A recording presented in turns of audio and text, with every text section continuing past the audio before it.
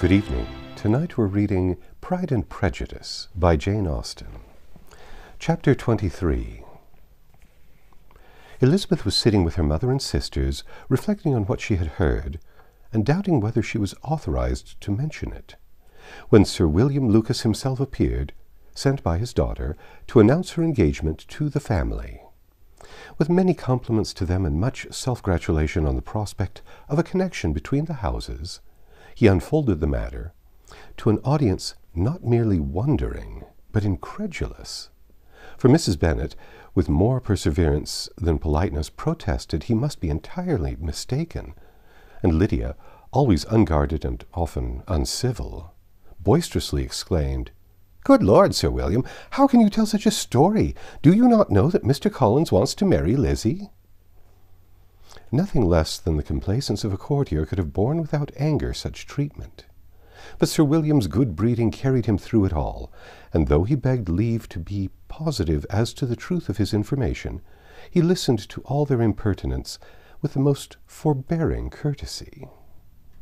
Elizabeth, feeling it incumbent on her to relieve him from so unpleasant a situation, now put herself forward to confirm his account by mentioning her prior knowledge of it from Charlotte herself, and endeavored to put a stop to the exclamations of her mother and sisters by the earnestness of her congratulations to Sir William, in which she was readily joined by Jane, and by making a variety of remarks on the happiness that might be expected from the match, the excellent character of Mr. Collins, and the convenient distance of Hunsford from London.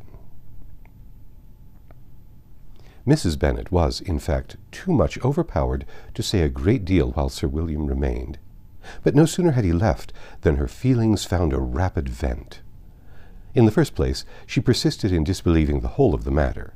Secondly, she was very sure that Mr. Collins had been taken in. Thirdly, she trusted that they would never be happy together. And fourthly, that the match might be broken off. Two interferences, however, were plainly deduced from the whole. One, that Elizabeth was the real cause of all the mischief, and the other that she herself had been barbarously used by them all, and on these two points she principally dwelt during the rest of the day. Nothing could console and nothing appease her, nor did that day wear out her resentment. A week elapsed before she could see Elizabeth without scolding her. A month passed away before she could speak to Sir William or Lady Lucas without being rude, and many months were gone before she could at all forgive their daughter. Mr. Bennet's emotions were much more tranquil on the occasion, and such as he did experience he pronounced to be of a most agreeable sort, for it gratified him, he said, to discover that Charlotte Lucas, whom he had been used to think tolerably sensible, was as foolish as his wife, and more foolish than his daughter. Jane confessed herself a little surprised at the match, but she said less of her astonishment than of her earnest desire for their happiness nor could Elizabeth persuade her to consider it as improbable.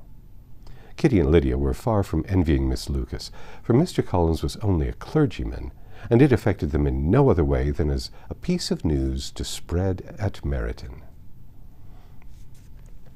Lady Lucas could not be insensible of triumph on being able to retort on Mrs. Bennet the comfort of having a daughter well married, and she called at Longbourn rather oftener than usual to say how happy she was, though Mrs. Bennet's sour looks and ill-natured remarks might have been enough to drive happiness away. Both Elizabeth and Charlotte between Elizabeth and Charlotte there was a restraint which kept them mutually silent on the subject, and Elizabeth felt persuaded that no real confidence could ever subsist between them again.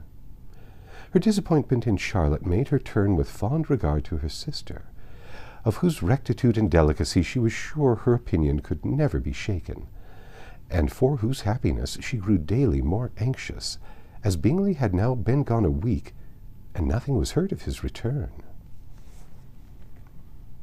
Jane had sent Caroline an early answer to her letter and was counting the days till she might reasonably hope to hear again. The promised letter of thanks from Mr. Collins arrived on Tuesday, addressed to their father, and written with all the solemnity of gratitude which a twelve months' abode in the family might have prompted.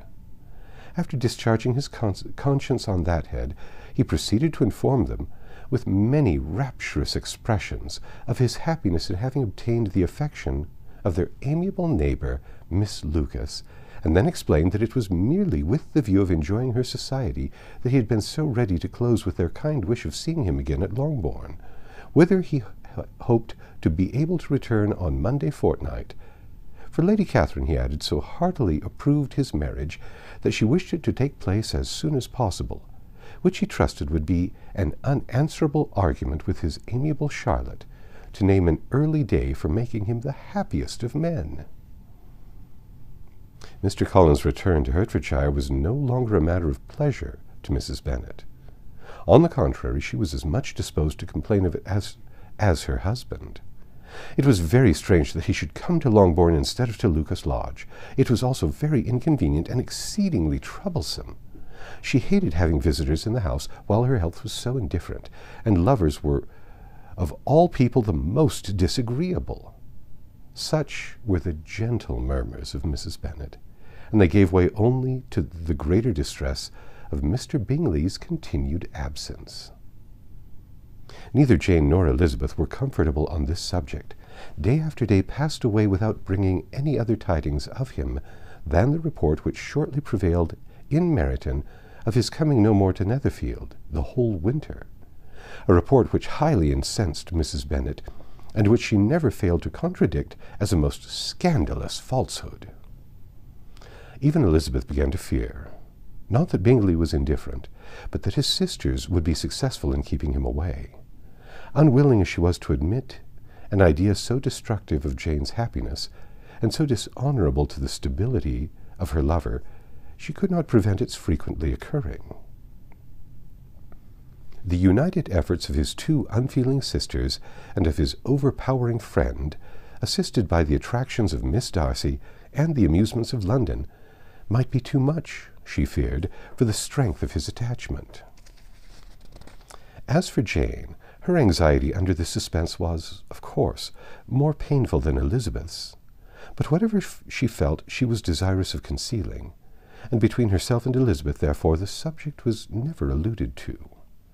But as no such delicacy restrained her mother, an hour seldom passed in which she did not talk of Bingley, express her impatience for his arrival, or even require Jane to confess that if he did not come back, she should think herself very ill used. It needed all Jane's steady mildness to bear these attacks with tolerable tranquillity. Mr. Collins returned most punctually on the Monday fortnight, but his reception at Longbourn was not quite so gracious as it had been on his first introduction. He was too happy, however, to need much attention, and luckily for the others, the business of love-making relieved them of a great deal of his company. The chief of every day was spent by him at Lucas Lodge, and he sometimes returned to Longbourn only in time to make an apology for his absence before the family went to bed. Mrs. Bennet was really in a most pitiable state. The very mention of anything concerning the match threw her into an agony of ill humour, and where, wherever she went she was sure of hearing it talked of. The sight of Miss Lucas was odious to her. As her successor in that house, she regarded her with jealous abhorrence. Whenever Charlotte came to see them, she concluded her to be anticipating the hour of possession, and whenever she spoke in a low voice to Mr. Collins, was convinced they were talking of the Longbourn estate, and resolving to turn herself and her daughters out of the house as soon as Mr. Bennet were dead. She complained bitterly of all this to her husband. Indeed, Mr. Bennet, said she, it is very hard to think that Charlotte Lucas should ever be mistress of this house, that I should be forced to make way for her, and to live to see her take my place in it. My dear, do not give way to such gloomy thoughts. Let us hope for better things. Let us flatter ourselves that I may be the survivor, this was not very consoling to Mrs. Bennet, and therefore, instead of making any answer, she went on as before. I cannot bear to think that they should have all this estate. If it was not for the, the entail, I should not mind it. What should you not mind? I should not mind anything at all. Let us be thankful you are preserved from a state of such insensibility. I can never be thankful, Mr. Bennet, for anything about the entail. How anyone could have the conscience to entail away an estate from one's own daughters, I cannot understand. And all for the sake of Mr. Collins, too. Why should he have it more than anybody else? I leave it to yourself to determine, said Mr. Bennet. That's the end of chapter 23. Come back tomorrow and we'll read chapter 24.